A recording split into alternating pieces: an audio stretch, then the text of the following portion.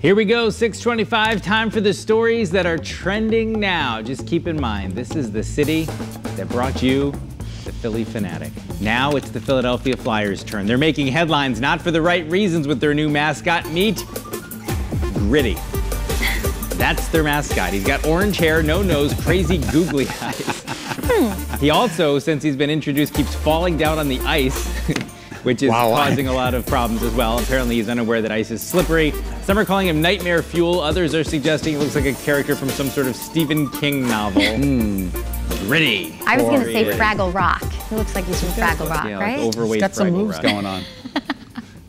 What'd you say? He's got some moves going on. Yeah, hmm. sure. Oh, hello. Everyone's been there. You just want to watch one more episode or read one more chapter, but in the end, your body just says no.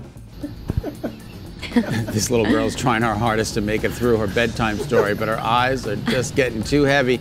Before you know it, she's fast asleep while still sitting upright. Oh, poor girl. I guess re- reading sometimes makes you tired, right? Mm-hmm. For one dog, his most unique feature is what got him adopted. Take a look. He sounds a bit like a seal and a pig. I to the front and I said, listen. Is this some fashion model shoot? What is this? What, what's happening? Meet Dennis, the pup, Scott, the pup. Oh, He's a happy pup, and he's just living his best life with his owner, Drew, the fashion model in Australia. Actually, we don't know if Drew is a fashion model. I'm sure he is. According to Drew, as soon as he heard Dennis barking like a seal at the shelter, he knew he had to adopt him.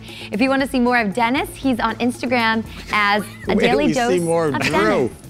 See, the funny thing is, if there was no script there, if that was just video, Scott wouldn't have even noticed there was a dog in that video. It would have just been a video about a shirtless man. Those are the stories that are trending now. Send us a video. Shirtless men preferred by one member of the team. We'll Hey, be back. hey, you know what happened to Drew? no.